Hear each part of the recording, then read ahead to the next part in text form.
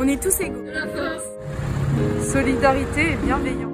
Ouais, ben, il faut y aider les handicapés. Hein. Moi qui m'a dit le handicap, euh, pas de chance. Tolérance. À ce que je pense du handicap Oui. Oui. Bah écoutez, ça me fait beaucoup de peine pour les personnes qui sont touchées. Voilà. Je pense qu'il faut faire de cette différence une force. Challenge. Bon, bah, résilience. Handicap, euh, le handicap, je pense que c'est à nous de nous adapter euh, parce qu'ils font déjà beaucoup d'efforts et nous on peut en faire aussi. C'est pas juste aller que dans un sens.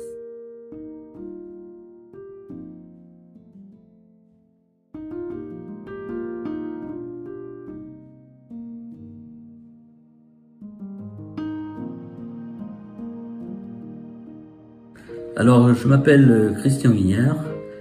Je suis, euh, j'ai été pompier pendant 30 ans. J'ai passé ma carrière à Saint-Laurent-sur-Sèvre et j'ai créé une école JSP en 2002. Elle va avoir 20 ans l'année prochaine.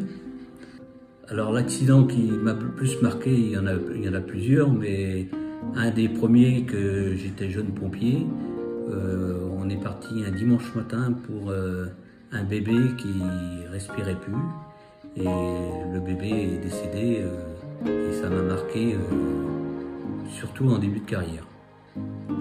Feu qui m'a le plus marqué, c'est un feu qu'on était, on était parti pour un, un feu de cheminée et quand on est arrivé, c'était un feu de château. L'accident aussi qui m'a beaucoup marqué, c'est une famille qui est brûlée dans, dans une voiture.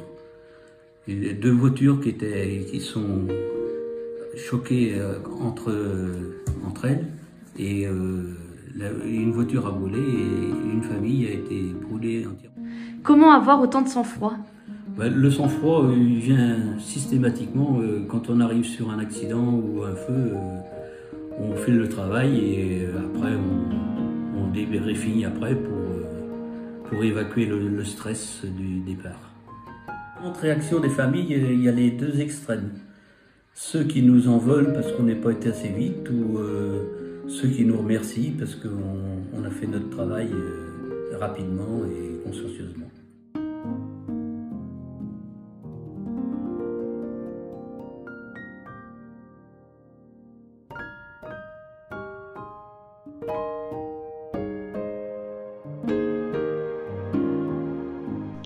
Bonjour, Pascal Geffard, kiné à Cholet.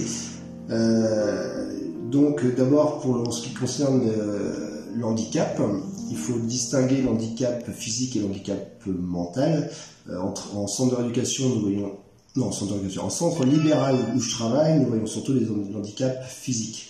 Euh, l'handicap physique qui reste assez léger parce qu'il faut qu'il vienne au cabinet. Donc avec, euh, alors que le handicap lourd se voit plutôt en centre d'éducation, en milieu hospitalier. Euh, on voit le genre de personnes que nous voyons, on a des fractures, on a de l'entorse, on a des douleurs, euh, une douleur cervicale, des douleurs dorsales, lombaires, des problèmes respiratoires qui peuvent survenir ensuite à des traitements au cancer, des problèmes dégénératifs, des accidents vasculaires, des accidents vasculaires cérébraux, maladies orphelines, euh, donc énormément de personnes différentes qui vivent chez eux à domicile et qui viennent au cabinet euh, une à deux fois par semaine.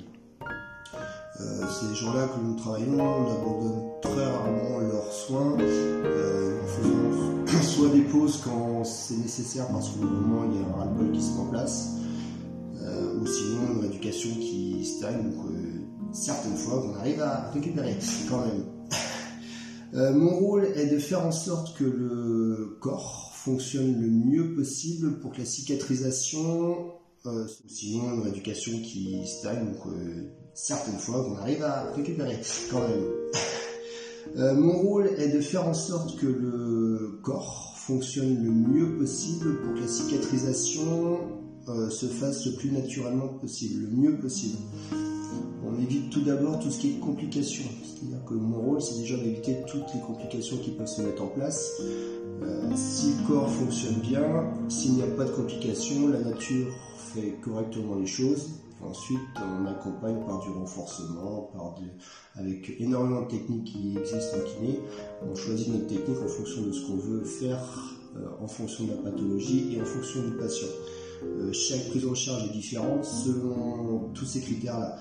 Euh, le handicap est tellement varié que euh, il nous faut adapter en fait les, traitements et les, techniques éducatives en fonction de chaque handicap et donc de chaque personne. Personne. sur ma vision du handicap suite à un accident dans la vie de tous les jours, l'adaptation doit se faire, c'est une adaptation qui se au jour le jour et il n'y a pas, j'ai pas forcément, ma vision elle est simple en fait, c'est que faut être le mieux possible pour que tout se passe le mieux possible.